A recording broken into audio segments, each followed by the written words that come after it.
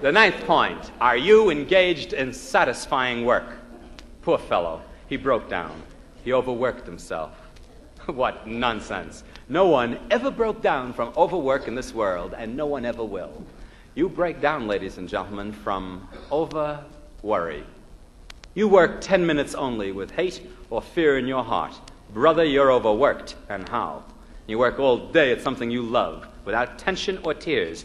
You'll go home pretty tired, but you won't break down. I just flew into Phoenix from New York by plane, which is the best way to fly. And.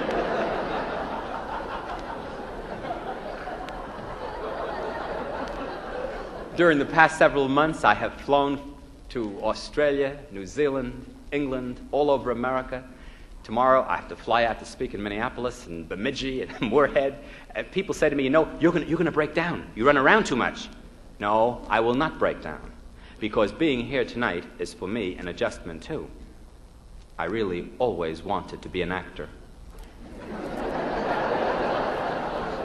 but my mother wanted me to be a doctor. So I became a doctor, and now I'm an actor.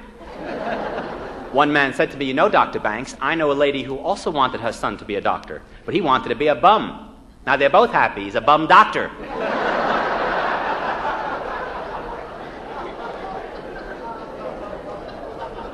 The tenth and the last point is this Do you know how to worry effectively? There's only one thing to do when you're worried, and this is it. Do something active about the cause of your worry. Are you worried about your health? Well, then go to a doctor. Do you have an emotional problem? Go to a psychiatrist. a psychiatrist? Yes, a psychiatrist. I picked up my phone the other day and a voice said, Hello? I said, Hello. He said, Is this the crazy doctor? I said, Yes. He said, I want to make an appointment to see you. How much do you charge? I said, $20. He said, I'm not that crazy. After dealing with mental patients for quite a number of years, it is always a thrilling thing for me to learn each day anew that the only difference between a happy person and a broken soul is never the problems. That's just about the same for all of us. It's the attitude towards the problems that makes us what we are.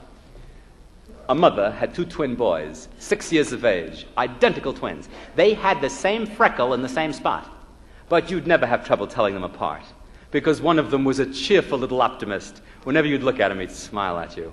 The other one was a pessimist of the worst order. Mama took them both by the hands one day, off to the psychiatrist. She said, Doctor, I don't want much, really, I don't. Balance them up a little bit.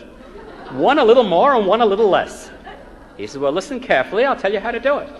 When their birthday rolls around, buy that little pessimist of yours a room full of toys. Fill the room with more toys than he's ever seen before. She says, What shall I get for the optimist? Well, just get him a great big box of manure. Say, what you say? What, what, what, what, what, what? Madam, that's what I said. Toys for the pessimist, manure for the optimist. That'll balance up. Mama did exactly as the doctor ordered. Then she stuck her head into each room to see how they were getting along.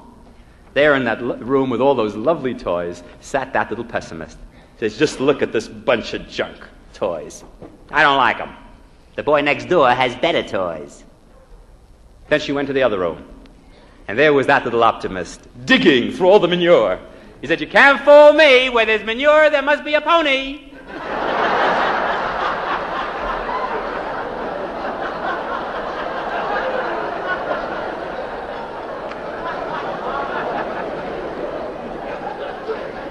If you ever stop to think about your life, you will find that your life is just like climbing a slippery hill.